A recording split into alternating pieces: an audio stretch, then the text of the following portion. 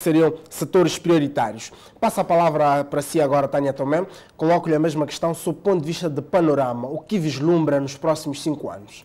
Ah, bem, obrigada pelo convite. É um prazer imenso de estar aqui.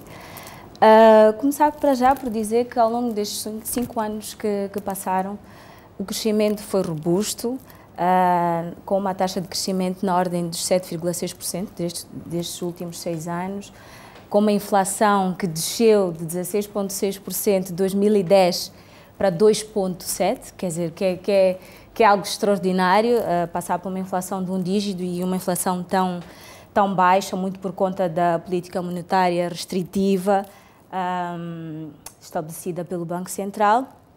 Também estes investimentos diretos estrangeiros em, em valores astronómicos, só, só para se ter uma ideia, em 2013 atingiram 6 mil milhões de dólares, o que de facto é um, é, é um volume substancial.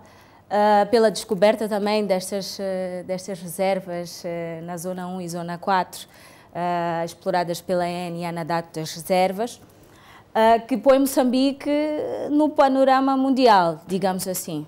Agora é importante destacar que, não obstante ter havido este crescimento, a taxa de pobreza absoluta uh, se mantém em 60%, que é um valor muito elevado, e esse próprio crescimento não acompanhou também um aumento do emprego. Portanto, ainda continuamos com uma taxa de 18,7%. Portanto, há ainda muita coisa a trabalhar, uh, portanto, ao nível de emprego, ao nível da agricultura e industrialização de outros setores. Muito bem. Joaquim Daia,